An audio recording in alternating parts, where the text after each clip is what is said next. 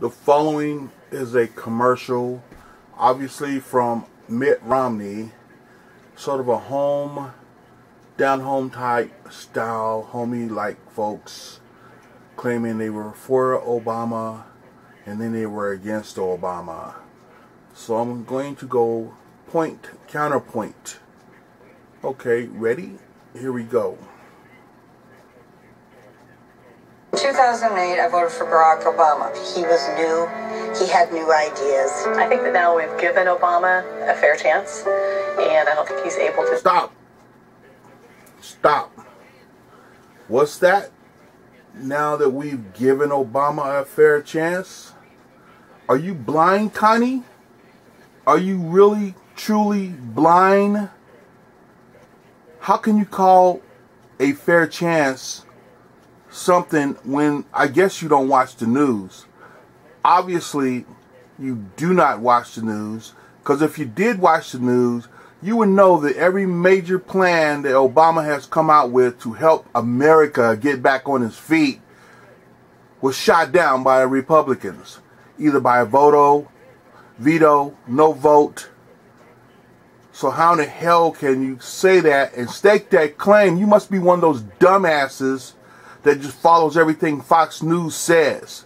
Because obviously you got your head up your ass and you don't know what the hell you're talking about. Because everything Obama has tried was shot down by the damn Republicans. Like I say, by, by veto, vote, or no vote.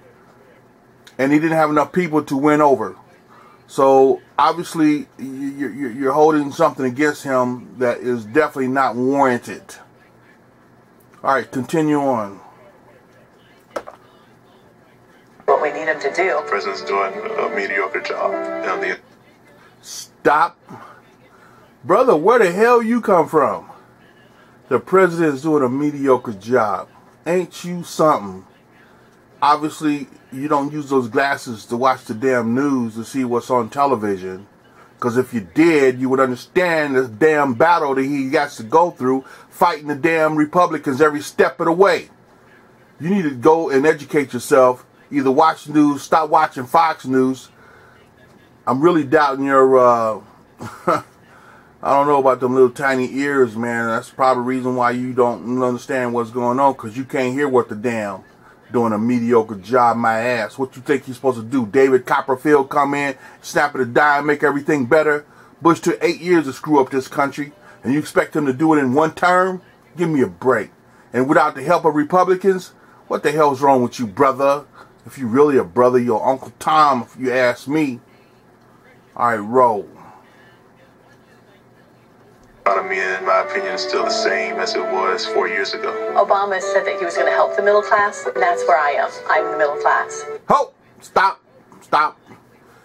Uh, it is now quite evident to me that you really don't watch anything other than Fox News. Because Obama has done a lot of things to help the middle class. But one thing he can't do is get Republican owned businesses to hire anybody. Because if you watch the news and read newspapers, you would see and understand that there was a pact made day one when he took office. And that secret pact was do not hire anyone on this first term so we can make him look as bad as possible. You don't realize that? You got a sharp brain scan there? Okay? You don't understand what has happened? Republicans got a little secret pact. Do not hire anybody. We want him to look as bad as possible when it comes time for re-election. Didn't you hear what Mitch Mitch McConnell said? We're going to make sure he's going to be a one-term president. That's our main job. And you know what? That's exactly what the Republicans been doing. And for you sit up here and make this damn commercial, either you took money from Romney to make some lying ass commercial like this, should be ashamed of yourself for calling yourself a damn Democrat. And I don't mean to call a Democrat damn, but you're a damn Republican trying to pass off as a damn Democrat.